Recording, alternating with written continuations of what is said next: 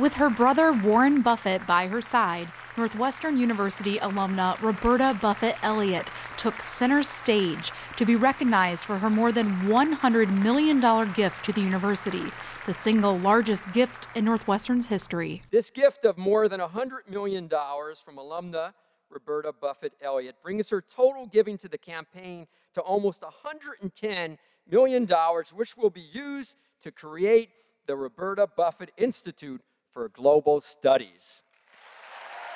Her gift will support students, faculty, and academic programs that advance global issues through research, scholarships, travel grants, fellowships, and more. We are here today, of course, to celebrate one individual in particular whose extraordinary record breaking generosity is going to positively and forever transform our global studies programs and amplify Northwestern's impact on the world. Northwestern leaders from schools across the university participated in a panel discussion at the event to discuss key global issues. Feinberg medical student Claudia Long says international travel changed her career focus when she was an undergraduate at Northwestern. Um, so those experiences actually turned out to be the, the basis, the formative basis of my decision to pursue a career in medicine.